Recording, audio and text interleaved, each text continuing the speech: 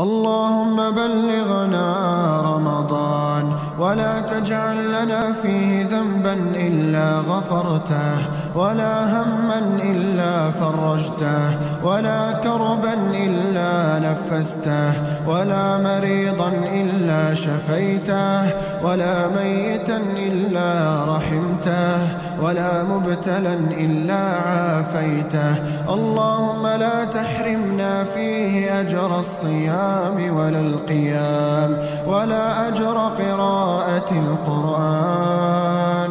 يا خالق الكون والوجود لمن نشكي وأنت موجود؟